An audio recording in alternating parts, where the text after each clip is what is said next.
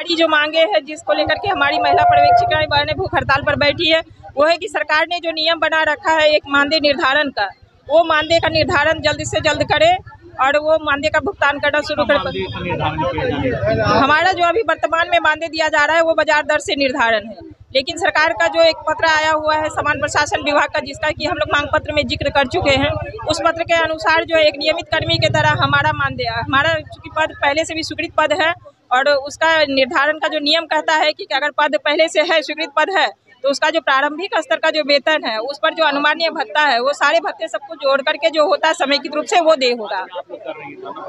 आज हम लोग धरना प्रदर्शन नहीं भूख हड़ताल पर ही बैठे हुए हैं और तीन दिन का ये भूख हड़ताल हमारा यहाँ जारी रहेगा। तो आगे क्या करेंगे? आगे हमारा जो आंदोलन जारी रहेगा और इसमें अट्ठाईस तारीख को हमारा आत्मदाह तक का ही आंदोलन।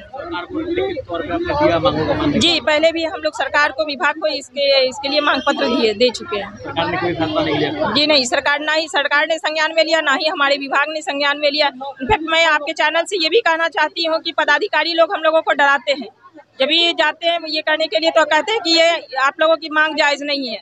वो हमारे जब भी वार्ता होती है, वार्ता के बीच में ही कोई पदाधिकारी उठ करके कहते हैं कि इनकी मांगे जायज़ नहीं है। तो हम आपके चैनल के माध्यम से ये कहना चाहते हैं उन पदाधिकारियों को कि अगर हमारी मांगे जायज़ नहीं है तो वो लिखित रूप से हमें दे, ताकि हम और कोर्ट के शरण में जाएँगे या आगे जाएँगे। लेकिन आप मौखिक रूप से कहते हैं कि मांगे जायज़ नहीं तो आप भाई इसको बताइएगा ना कि किस प्रकार आप कह रहे हैं कि, कि हमारी मांग ये जायज़ नहीं है। जी जी मेरा नाम प्रीति रानी प्रीत है महिला पर्यवेक्षिका महिला आईसीडीएस बिहार राज्य आईसीडीएस महिला पर्यवेक्षिका संघ एवं कर्मचारी संघ की अध्यक्ष की समान काम समान वेतन मिलना चाहिए। सरकार जो आठ महीना पहले हम लोगों का कमिटमेंट किया था कि आप लोगों का पेमेंट हम लोग बढ़ा देंगे पारिश्रमिक बढ़ा देंगे आज तक नहीं बढ़ा है। हमारा जो दो दिनों का विशेषावकाश में मिलता था वो भी बंद कर दिया गया है। ये ये हमारी मांग है कि हमारा हम, हम हमें हमारे कार्य के अनुसार पेमेंट बढ़ाइए हमारा पारिश्रमिक दीजिए और जो दि, जो दिनों का जो विशेषावकाश आपने बंद कर दिया है वो विशेषावकाश दीजिए। उस अवकाश को अगर नहीं दीजिएगा तो हम लोगों को कार्य करने में असमर्थ वो दो दिन होगा। आज हमारा प्रथम दिन है। पहला दिन हमारा धरना का है।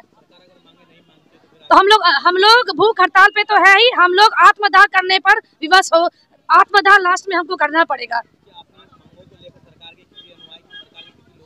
हाँ हमारी अध्यक्ष महोदय प्रीति कुमारी से बात हुई थी, उन लोगों ने बात को आठ महीने पहले रखा था हम लोगों को आश्वासन भी मिला था कि आप लोग आप लोग हड़ताल पे मत जाइए, क्योंकि हम लोग आठ महीने पहले हड़ताल पे जाने वाले थे। आप लोग हड़ताल पे मत जाइए, आपका मांग पूरा हो जाएगा। तो उसी आश्वासन पे हम लोग भी नहीं गए। लेकिन आठ महीना क्या नौ महीना होने वाला है। हमारी बात पर, सरकार की बात अभी तक पूरी नहीं हुई। और विवश होने विवश होकर हम लोग इस कगार पे आ गए हैं।